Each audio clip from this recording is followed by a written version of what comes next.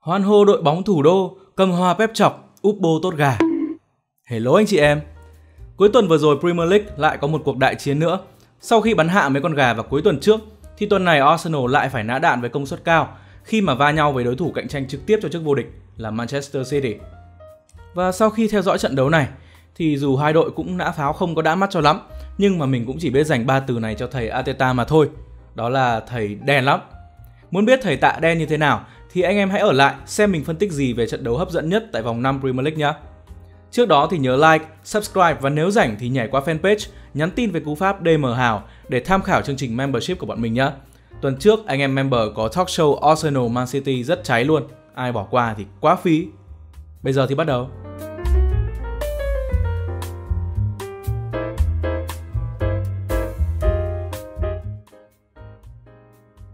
Phải khá là lâu rồi thì mình mới thấy Pep Guardiola mắc sai lầm nhiều đến vậy trong cách tiếp cận ở một trận đấu lớn. Từ cách triển khai hệ thống, bố trí nhân sự và các quyết định trong trận đấu của thầy Chọc đều tệ hơn so với mình tưởng.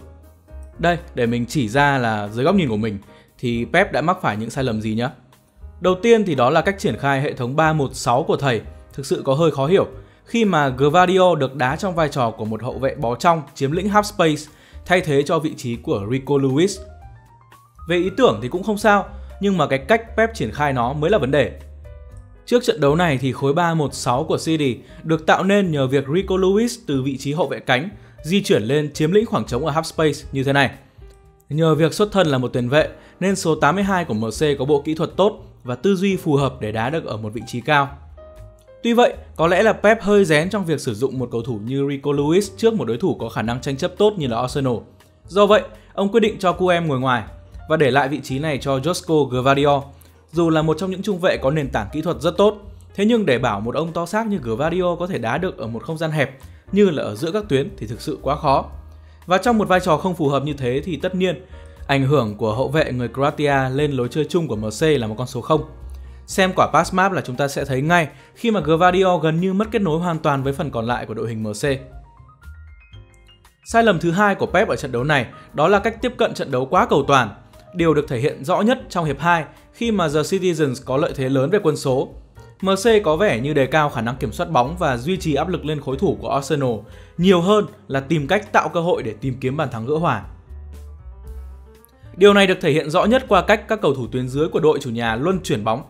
MC làm tốt trong việc thiết lập khu vực overload, nhằm cô lập vị trí của các chân chạy cánh của họ, nhằm mục đích là giúp cho họ có thể solo 1-1 với các hậu vệ cánh của đối phương Thế nhưng ở khâu quyết định đó là khâu đảo cánh thì họ lại tỏ ra rất chậm chạp, thường xuyên phải bỏ ra tận vài nhịp chạm bóng thì mới bắt đầu chuyển được bóng sang phía bên kia. Lúc này thì mấy ông pháo đã có đủ thời gian để kéo khối thủ sang rồi chứ còn gì nữa đúng không? Đây, như ở pha này thì thực sự khả năng của Diaz là hoàn toàn có thể truyền nhanh ngay cho Doku hoặc cùng lắm là thông qua Akanji để có thể đưa bóng tới vị trí của số 11. Và anh lựa chọn phương án 2. Vốn dĩ nó đã là phương án không tối ưu bằng và anh lại còn thực hiện nó quá chậm khi phải mất tới khoảng 5 giây sau bóng mới đến chân vị trí của Doku. Lúc này thì làm gì còn cơ hội để một đánh một nữa đúng không? Bên cạnh đó thì cách thức tấn công của MC cũng cho thấy được phần nào sự cầu toàn quá của Pep khi mà thầy chỉ đạo các học trò chủ yếu tấn công ở trung lộ và tìm kiếm cơ hội từ những tình huống sút xa. Cách tiếp cận này sẽ giúp cho CD hạn chế được tốt hơn khả năng phản công của đối thủ bởi vì sút xa như thế thì một là bay ra ngoài, hai là văng ngược trở lại để chúng ta có thể reset tấn công.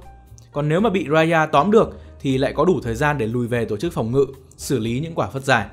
Nhưng mà rõ ràng, ai xem kênh mình nhiều thì đều biết đây chính là thế mạnh của Arsenal. Khi mà thầy tạ luôn luôn chú trọng phòng ngự khu vực trung lộ, do vậy những khoảng trống ở đây luôn luôn bị bịt kín. Đã thế thầy Pep lại còn làm quả khó hiểu hơn khi mà những vị trí sút xa đẹp thì toàn bố trí mấy ông hậu vệ chiếm lĩnh như này. Thế là trong những khoảnh khắc hiếm hoi khoảng trống được mở ra thì MC cũng chưa đủ khả năng để tận dụng được. Và cái sai lầm cuối cùng đó là những thay đổi về nhân sự của Pep trong trận đấu này quá chậm. Nếu thực hiện thay người sớm hơn thì mình tin rằng cửa thắng của MC sẽ lớn hơn. Pep lựa chọn uy hiếp khung thành của Raya bằng những cú sút xa, nhưng phải đến tận phút thứ 70 thì ông mới tung Phil Foden vào, người ghi nhiều bàn thắng từ ngoài vòng cấm nhất trong 5 giải đấu lớn tại châu Âu mùa trước. Cần một người có thể khai thác khoảng trống ở biên bằng những đường tạt, hoặc chí ít là thu hút đối phương để mở khoảng trống trung lộ. Vậy mà phải đến tận phút thứ 78, ông mới tung Jack Grealish vào sân. Ở giữa thì như mọi lần, Hà Lan bị kèm cặp khá là kỹ và họ cần thêm một điểm đến nữa để san sẻ và tận dụng cái sự cô lập hiện tại của Hà Lan. Thế nhưng cũng phải đến gần cuối trận thì thầy mới thay Stones vào đá ở vị trí tiền đạo. Về phần mình thì mình cũng khá là thông cảm cho thầy thôi, bởi vì mình biết rằng từ trước giờ thì khả năng xử lý ở giữa trận của Pep thì vốn cũng không phải là quá ghê và điều này cũng đã từng báo thầy rất nhiều ở những trận đấu lớn rồi. Thôi thì lần sau thầy cố chọn cái cách nào nó áp đảo hơn tí. Thắng dễ luôn từ đầu thì đến giữa trận đỡ phải nghĩ đúng không? Rồi bây giờ mới đến phần chính này, đó là hoan hô thầy Ateta.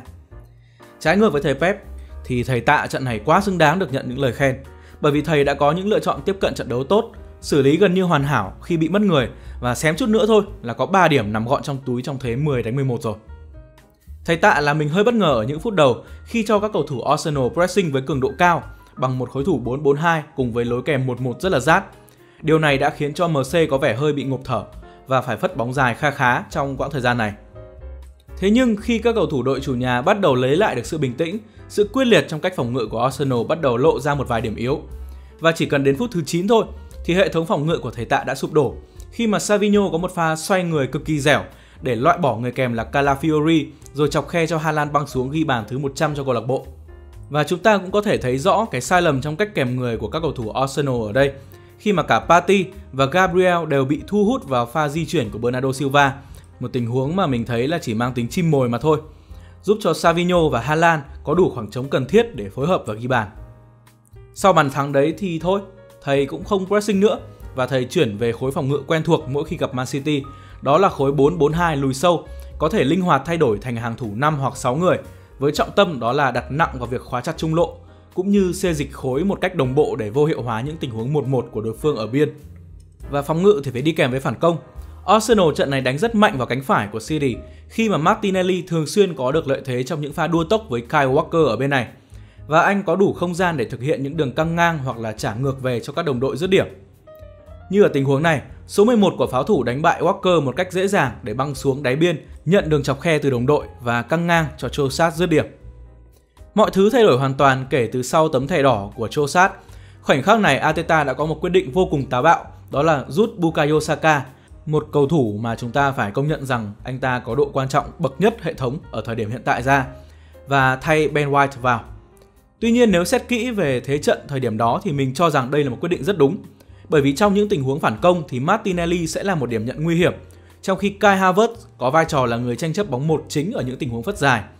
Còn thực ra với Saka thì anh sẽ nguy hiểm nhất khi được cầm bóng nhiều trong chân và tha hồ quẩy quẩy múa múa các thứ. Đây lại là điều mà Arsenal lúc này sẽ không thể nào có được bởi vì đang chơi thiếu người. Do vậy để Saka rời sân, tiếc thì tiếc thật, nhưng cũng là một quyết định hết sức đúng đắn của Arteta trong tình huống này. Và với bất lợi về quân số như vậy, thầy Tạ triển khai một khối thủ siêu lùi sâu, tập trung vào quân số ở tuyến dưới và có cái hình dạng chúng ta có thể mô tả bằng công thức là 540. Thậm chí có lúc nó còn cực đoan hơn khi mà sẽ có người lùi xuống thêm để chuyển thành 630 hay thậm chí là 720 nữa. Mục tiêu của Arsenal lúc này chỉ có một mà thôi, đó là làm mọi cách để ngăn không cho MC ghi bàn. Họ làm điều đó với việc khóa trung lộ cùng với hai half space, overload tức là tạo lợi thế quân số trong vòng 16m50 để hóa giải những quả tạt cũng như hạn chế để cho các cầu thủ chạy cánh xuất sắc của City có thể thắng thế trong những pha một đấu một với các hậu vệ. Và với một đội cực kỳ mạnh về phòng ngự như Arsenal, thì mọi thứ hoạt động vô cùng hiệu quả, khi mà City gần như bế tắc hoàn toàn trong việc tìm đường tới khung thành của Raya. Sự cẩn trọng trong cách tấn công của MC như mình đã nói ở phần 1 của video còn góp phần tăng thêm độ tín cho khối thủ cực đoan này của Ateta nữa chứ. Đen mỗi cái là thiếu đúng 30 giây nữa là các ông được vênh mặt rời Etihad rồi. Thì không hiểu sao ông John Stones từ đâu chui ra gỡ hòa 2-2. Nói chung là đá như thế mà không thắng được thì thôi, cũng chấp nhận thôi, cũng hay rồi nha. Tổng kết lại một trận đấu quá đen cho thầy Tạ khi mà Arsenal đánh rơi chiến thắng ở những giây cuối, trong khi thầy Pep lại quá là may đi khi mà sự chậm chạp trong việc thích ứng của thầy lại không khiến cho MC mất điểm. Về cục diện tổng thể thì chỉ béo mỗi hai ông Liverpool với Aston Villa mà thôi, khi mà bây giờ hai ông này chỉ còn cách ngôi đầu có một điểm. Thế nhưng, nói thật là hai ông này tầm này chắc cũng hơi khó đấy. Đến cuối mùa chắc vẫn sẽ là thầy chọc với thầy tạ đua song mã với nhau thôi. Nên là kết quả hòa này cũng chả giải quyết được vấn đề gì cả. Chắc là lại hai đội này đua xong đến lúc ai vấp trước thì đội đấy chết đi mà. Thôi, video đến đây là hết rồi. Hẹn gặp anh em ở những video tiếp theo nhé.